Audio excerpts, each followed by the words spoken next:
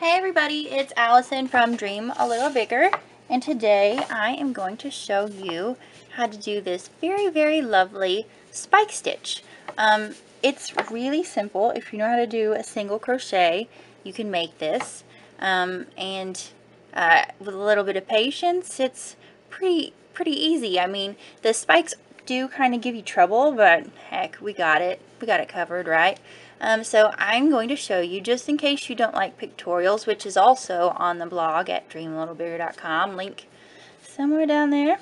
Um, so uh, if you like videos, great. If you don't like my voice, because I don't, you can go um, look at the pictorials with just pictures. Um, and you don't have to hear me talk. Okay, so First of all, one of the great things about this is you don't have to count your stitches. Um, you can if you want to have a very specific pattern, but if you don't, you totally don't have to. So we're just going to do a little swatch here while I've got you.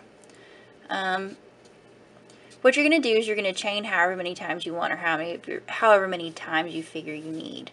Um, what you're going to do is not the next um, chain, but the one just after you're going to start your single crochets. And you're going to go, isn't that first one always just a toughie? Jeez. You're going to um, go all the way down the line here. And you're just going to single crochet. And because it seems a little awkward just, you know, having you watch my hands move and doing nothing else, I'm going to awkwardly fill the silence. Um, Let's see. Sorry for the stains on my hands. Actually staining a lot of wood. Keeping busy, you know, DIY, all that stuff. Also at dreamalittlebigger.com. Um, let's see here. Just keep on doing this. And to be honest, I have no idea why the single crochet curls up like this. It just does. I've been told that if I learned to do um, crochet without a foundation chain, that it would be no problem, no issue at all. But I'm old school, I guess. I'm resisting. You got to start with a chain. Okay. We're almost there. I'm almost going to be quiet. Actually, you know what? I got to do like four more of these. Um, I will get back with you in a minute. Okay. So we are back with a whole mess of single crochets. I've actually got one, two, three, four um, rows and a cat Say hi to Marla. Hey, Mar. Okay, so here we've got our four single crochets, and I've already got my color ready to change um, down here, and I'm going from turquoise to orange. Okay, you're going to do a um, one chain. You're going to chain once. Wow. Um, you're going to chain once, and then you're going to get ready to start doing your spikes. Your lovely, lovely spikes. Um, what you're going to do is you're going to go underneath your first set of single crochets or your second set or your third set um, and you're going to make the spikes that are, that are the varying lengths. Um, like over here see this is one chain this is three or two chains this is one chain this is three or single crochets geez. Okay one single crochet two three three two whatever. I cannot count. This is insane. Okay you get the idea. So what we're going to do is you're going to go like to the left of your chain and underneath it. And we've got a new cat. Say hi to Max, y'all. Okay, so you're going to go through here and you're going to you're going to push your hook through here. Nothing's going right today. okay, you're going to yarn over, pull it through. And this is basically like, you know, a chain stitch or whatever. This is nothing fancy. You're going to yarn over and pull it through both. What are you doing, buddy? His tail's just going nuts over here. Okay, and then we're going to do our next stitch, and it's going to go deeper this time. So I'm going to go through down here. I'm going to push it through the front side, and I'm going to yarn over.